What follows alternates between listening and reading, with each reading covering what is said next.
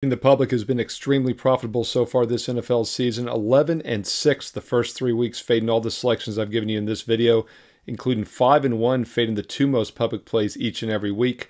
I'm going to give you four very public plays for this Sunday and three additional public dogs. Red flag alert! All that's coming up free with analysis here in just a moment. Hi, this is Steve Merril, WagerTalk.com, right back here on Wager Talk TV with your Week 4 Sunday, September the 29th NFL Fade the Public video. And what I do each and every week, if you're new to this video, I give you the most public sides. I look at several different sources for consensus data. Been doing this for several years. And long-term, fading the most public sides is a profitable angle. And there's certain subsets that work even better. Uh, let's recap last week. Fading the two most public plays last week were very profitable as both Tampa Bay and Las Vegas Raiders lost outright. The ugly duckling Panthers and Broncos won straight up as dogs last week which means fading the top two most public plays each week so far has gone 5 and 1. It's been very profitable, and overall 11 and 6, fading all plays and opinions. Uh, the Bills did cash easily on Monday night. That was the third most public play last week. And then they, the uh, public dogs split out Packers and Chargers went one and one. So yet another profitable week, fading all the selections in the video. All three weeks so far, we've turned a profit and 11 and six. But once again, fading the two most public plays has gone five and one so far this season. So let's get right to it. I'm going to give you the three most public sides and also the most public dog this week here in just a moment. But let's start with the most public play for week four, and that is the Cincinnati Bengals minus the four and a half. Now, on the surface, this might be a little surprising because Cincinnati lost outright on Monday Night Football to not my Washington Commanders. And of course, the Panthers won straight up as a very contrarian call. But the public is jumping right back on board and fading Carolina once again. And I don't blame them. They've had very good success so far doing it this season. Um, they faded them in both weeks one and two with success as the Saints and Chargers beat the Panthers 73 to 13. Last week, I had a strong best bet for my clients on Carolina. I liked the quarterback change to Andy Dalton. I thought it could be a spark for the team. Whether that's a long term solution or not, we'll have to see. Uh, they did throw for 306 passing yards, almost 10 yards per pass last week, so he definitely helped them against what's been a pretty good Raiders defense going back to the second half of last season. And they also did not turn the ball over after having four turnovers in the first two weeks. So, Yes, Carolina does look like a better team with Andy Dalton, but they're still one of the weakest teams in the NFL. And I was a little surprised to see Cincinnati the most public play this week because, if anything, I thought the Bengals might be a little bit of a contrarian call after losing straight up as a touchdown favorite on Monday Night Football. Uh, keep in mind, the Washington Commanders have looked really good with Jayden Daniels at quarterback. Not sure Andy Dalton's at that same level, and uh, we'll see how this one plays out. But once again, I was a little surprised to see the Bengals as the most public play this week. Uh, but that is the situation. By the way, Cincinnati's offense has really struggled to run the ball so far this season, and um, that could be a concern here as well. Laying points on the road, the team that doesn't run the ball well is always dicey. They're averaging only about 89 rushing yards per game. All right, the second most public play this week is the Houston Texans minus six. And uh, this is more of a fate of Jacksonville than anything else, and not a surprise. You know, I mentioned last week the third most public play was Buffalo on Monday night, and Buffalo was never in doubt as they just smoked Jacksonville, scored on the first five straight possessions, five touchdowns on five straight possessions, and uh, routed Jacksonville, of course, on national TV Monday night, 47 to 10. Uh, the public was against Jacksonville last week, so not a surprise they'd come right back here and against Jacksonville once again this week. Houston Texans, the worst team in the NFL. Actually, I'm sorry, the second worst team in the NFL two years ago. Keep in mind they had the worst record, and they were going to get the number one pick, probably Bryce Young and they won that meaningless Week 17 or Week 18, Game 17 two years ago to fall to the number two spot, and they took Stroud instead. Wouldn't be fascinating to be able to go back and swap the quarterbacks and see if Vince Young would have been, or I'm sorry, no, Bryce Young would have been that much better with the Houston Texans? We'll never know.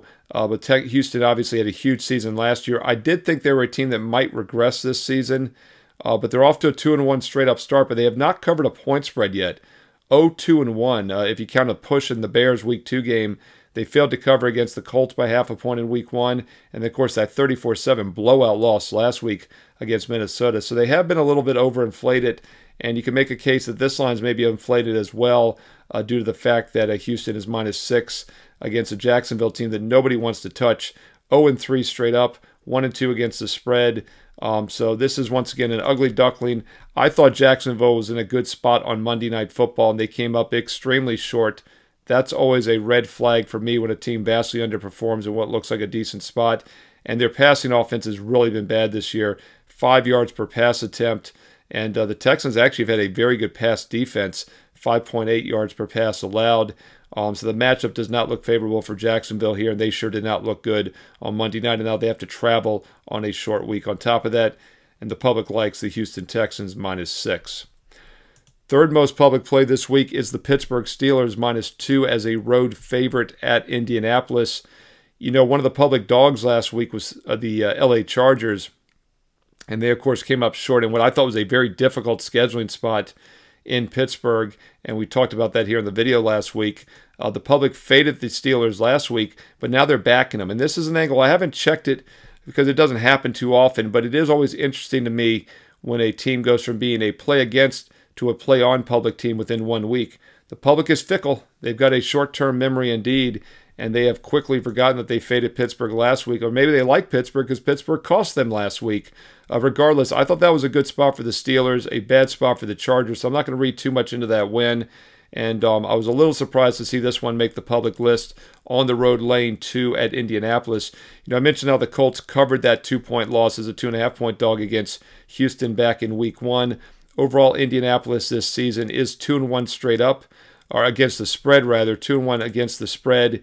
Um, even though the uh, Colts have gone just one and two straight up, they lost those first two games, close games against Houston and Green Bay, and then they beat Chicago last week, 21-16. Um, they finally had a turnover edge for the first time all season, a 3-2 turnover edge, but they still committed six turnovers in their first three games. 140 rushing yards or more in each of the past two games, and that'll be the key in this one is if they can control the line of scrimmage a bit against the Steelers defense that looks pretty stout once again this season. Pittsburgh's allowed less than nine points a game and less than five yards per play so far, and not sure that this Indianapolis Colts offense, which is averaging only 19 points a game, could step up and do something. Now, with the 6.5 yards per play that the Colts are averaging, though, is impressive when you look at the tough slate of defensive teams they faced. Their three opponents have averaged to allow just 5.3, and the Colts have actually gained 6.5 in those games. Uh, Steelers giving up 4.9. So another tough defensive opponent, but I do think the Colts offense is a little bit better than their overall numbers indicate. Turnovers have somewhat uh, limited what their production has looked like. Uh, but this could be a live dog here, the Indianapolis Colts. Uh, looks like a little bit of an overreaction to last week's Pittsburgh win against the Chargers, who were not in a good spot. Uh, so I would actually fade the public here. I think Indianapolis is worth a look on Sunday afternoon. All right, one more official public play for you, then three additional public dog leans. But I'm going to give you a very public dog, and this is an official fade the public selection, one of the most public underdogs I've seen this year, and that's the LA Rams plus three at Chicago.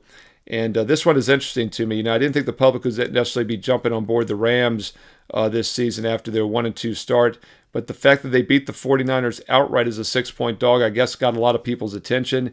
This is still a team that has rushed for 98 rushing yards or less in all three games this season. Um, they have not moved the ball too well um, as far as on the ground goes. And uh, that's why I was a little surprised to see the public back. In fact, they've been outrushed by almost 100 yards per game this year, 3.4 to 5.1 yards per carry. And um, defensively, uh, their pass numbers are pretty bad as well 6.8 to 9.4 allowed. It's one of the worst defenses in the NFL statistically, giving up over 30 points a game, nearly seven yards per play, and almost nine and a half yards per pass. Yet the public is backing them for some reason. Maybe it's because the Bears' passing offense has looked awful so far this season, as they've been averaging just 4.5 yards per pass play. So obviously, Chicago cannot get down early in this game and try to play catch up. Uh, rookie Caleb Williams has not been the solution so far. And I think this is more of a play against Chicago than necessarily a play on the Rams. Uh, but once again, not sure the Rams exactly are a public type play. So I was a little surprised to see this much consensus. And once again, whenever the public is on a dog, it's always a red flag because they normally play favorites. And this was actually a pretty high percentage on the dog. Really jumped out to me as probably the most public underdog we've had so far this season, and that is the LA Rams plus three at 1 o'clock Eastern in Chicago. Now, those are your four official public plays here for Week 4 NFL. Once again, uh, the most public uh, side, once again, is the Cincinnati Bengals minus 4.5, followed by the Houston Texans minus 6, then the Steelers minus 2, and the Rams plus 3, one of the most public dogs I've seen so far this season. There are three more public dogs as well that were additional leans. I'm going to give those to you in just a moment. Quick reminder, if you're finding these videos useful, please give it a thumbs up, a like, and comment below. I read all the comments. I reply back to as many as I can. I really do appreciate the support. Let me know where you agree or disagree with the public this week and what other NFL best bets you like. Hey, throw in some player props as well. If you're looking at some player props, let's learn and earn and win together here on Wager Talk TV.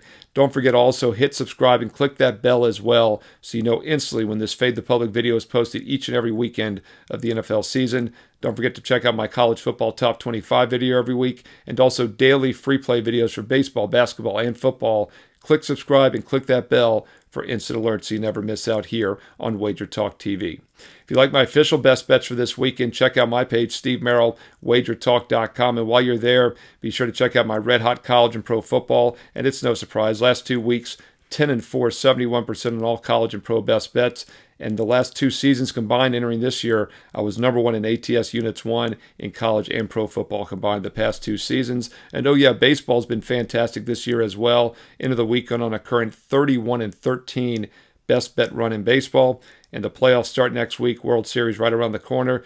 NBA starts in less than a month. Number one units won the last three years combined in the NBA. Number one in college hoops a couple years ago. So I know what you're thinking. How do I decide? Baseball, football, basketball. You don't have to decide. And All Sports, All Access, All Inclusive subscription gets every play, every sport, every day, so you never miss out. And this weekend, you can get an extra month for free. Sign up for the three month package, and you get a fourth bonus month included for free. It's an instant $299 value for free when you sign up this weekend. Buy a three month and you get the fourth month included for free. No promo code needed. Steve Merril, wagertalk.com. Hey, get there quicker with shortcut wt.buzz slash sm. Don't forget to also post a free play each and every day with analysis. Check out those bonus free plays on my page as well. All right, let's look at three additional public leans for this week, and all three are public underdogs. Wanted to give these to you. There's most public dogs I've seen in quite a while on one NFL card. And we'll start off at 1 o'clock Eastern with the Minnesota Vikings plus 2.5 at Green Bay. Public is leaning towards Minnesota plus the 2.5. You know, it's interesting. Last week they were on the Packers with the quarterback uncertainty. They saw the Packers getting points, and the Packers were a public dog, and they routed uh, Tennessee fairly easily, 30 to 14. But now this week, all of a sudden, they're jumping ship. Jordan Love is still listed as questionable, even though he's been practicing this week. He practiced last week, did not play. If Malik Willis goes, obviously it'd be a weaker Green Bay squad. Uh, but once again, the public is back in the Vikings, and I don't think they're fading the Packers. They're just back in a Vikings team that is a perfect 3 0 straight up and against the spread, including all three wins coming as either a one point favorite or dog. They haven't been favored by more than one point in any game this season. Dog in the last two, and they're 3 0 straight up in ATS. But once again, back to back straight up dog wins, and now the public is backing them.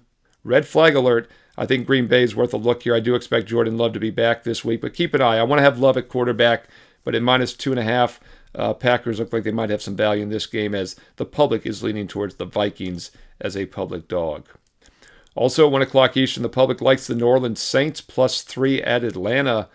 Uh, once again, public likes the New Orleans Saints this week. Uh, they were against they were on them against Carolina in Week One. Also, um, New Orleans blew a 3 0 lead heading into the fourth quarter last week, lost 15 12 to the Eagles. But keep in mind, they were being outgained by almost 200 yards entering the fourth quarter, yet had a 3 0 lead. Uh, the Saints have done a good job taking care of the ball. They've had exactly one turnover in each game, and they've forced seven overall this season. Uh, we'll see if things change now on the road, though, against an Atlanta team that's only forced one turnover the past two games. Uh, by the way, the um, Falcons have gone under in all three games this season. Defense is still kind of a learning pro- learn, learning progress uh, with Kirk Cousins, the new quarterback. 17 or less in two of their three games, but the defense has been pretty solid at times this season, and that could keep them in this one. They're giving up just 4.8 yards per play this season and only 5.8 yards per pass. And this, of course, will be against the New Orleans team that's been excellent throwing the ball, averaging nearly nine yards per pass. But it does look like a favorable matchup for the Falcons, and uh, they are actually a three point home favorite. And so it's understandable why the public is jumping on New Orleans, uh, what appears to be the better team, at least on paper so far. 2 and 1 straight up ATS, only lost by three points. Uh, but this is definitely a contrarian call if you're playing the Falcons minus three, as the public likes the Saints. And then finally, your Sunday night football game, Buffalo at Baltimore. Now, I did do a, a, deep dive five minute video on this one on the total. I do have a total recommendation, so check out my solo video for the Sunday night game between the Bills and Ravens here on Wager Talk TV. Once again, click subscribe, click the bell for an instant alert when it's released. But we're going to look at the side here in this video, and that's because the public is leaning towards Buffalo as another public dog. And I didn't point this out in the Vikings Packers game, but one of the reasons you know fading the public works is because you get adjusted line value. The line's a little bit shorter than it should be, and that's definitely the case here once again because the public likes Buffalo catching points, but it's just two and a half. Otherwise, this line is probably three or higher. Vikings are probably three or higher. Saints are probably three and a half or more. So all three of these games are right around that key number of three, and the lines are a little shorter than they should be because the public is back of the dog. Once again, Buffalo was a public play last week against Jacksonville, and they routed them on national TV. So not a surprise uh, that Joe Public is coming right back here with the Bills again this week. And Buffalo has looked fantastic. Perfect 3 0 start. They've scored 31 points or more in all three games. Only one turnover all season has had a large part of that. Baltimore, meanwhile, lost their first two games. Bounce back win, an impressive bounce back against Dallas last week, in which they had over 450 total yards, held the Cowboys to just 51 rushing yards. In fact, Baltimore's allowed just 51, 27, and 72 rushing yards in their three games this season. So the Bills will probably be somewhat limited on the ground, but Buffalo should have some success throwing against a suspect Baltimore secondary. Um, this Baltimore secondary so far this season is allowing seven and a half yards per pass. Uh, but Baltimore does have the rushing edge, almost six yards per carry this year per game, and also almost 200 yards per game on the ground and the Bills are giving up 4.7 yards per rush. So Baltimore probably has the edge on the line of scrimmage as far as running the ball, and uh, they're only a two and a half point home favorite. Once again, that's because the public likes the dog, and I think this line's probably a little bit shorter for that reason. All right, once again, three additional public dog leans on the Vikings, Saints, and Bills. Seven games for you this Sunday, man. This is a deep fade the public video. We'll see how it turns out. Once again, fading the two most public plays is 5 and 1 this season. Fading all the public plays and additional leans is 11 and 6. And oh, by the way, I know many of you in the comment pointed out that last Thursday night, the Patriots were a public dog. I mentioned that on the solo video. Yes, the Patriots were definitely a public dog last Thursday when they lost to the Jets, but we're not counting that in the official record because it was a Thursday game. I know I gave that to you in the solo standalone video earlier in the week for Thursday Night Football. But I'm only going to count the Sunday and Monday games in this video because I recorded on Friday night and we aired it on Saturday. So that's to be fair. But that technically was another game that would have cashed for. And I know many of you had that since I gave you that free play video. Hey, speaking of those free play videos, click subscribe, click the bell for an instant alert so you never miss out. Thumbs up, like these videos as well. That's always appreciated. And comment below, where do you agree or disagree with the public? What games are you using this Sunday and Monday for NFL Week 4 action? I read all the comments and I reply back. And once again, if you want my official NFL best bets for this Sunday, don't miss out. Number one ranked the last two seasons in NFL and college football ATS profit, and 10 and 4 the last two weeks, 71% in football. Baseball on a 31 and 13 run as we head into the weekend on best bets. Basketball about to start. Great time to get an all sports all access. And right now, this weekend only, when you buy the three month package, we're including a fourth month for free, an instant $299 bonus discount for free when you buy three months, you get four right now. Steve Merril, wagertalk.com.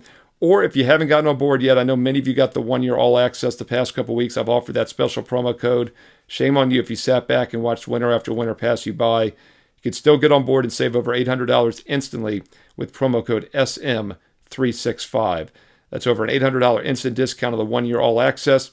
Works out to just $3 a day, just over a dollar per play for every football, baseball, basketball, college, and pro best bet for the next 365 days and nights. Just use promo code SM365 at checkout for over an $800 instant savings.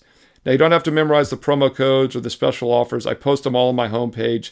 Go check it out. You'll see the daily best bets, the daily free play. That's right, a bonus free play every day with analysis on my page. And then right below the free play are the weekend, weekly specials. Weekend. I made a new word up because they were weekly, but they end this weekend. They're weekend. Now, seriously, though, this weekend is your last chance to buy the three months, get the fourth free. And I have extended that once again, the one year all access promo code SM365 as well. But the full details, you don't have to memorize it here. Go check them out on my page and be sure to check out that daily free play as well. Steve Merril, wagertalk.com. Hey, get there quicker with shortcut WT.buzz slash SM. Follow me on X and Instagram at Steve Merril, two R's, one L, at Steve Merril on X and Instagram. And stay tuned here to Wager Talk TV for some more great free betting content coming up next.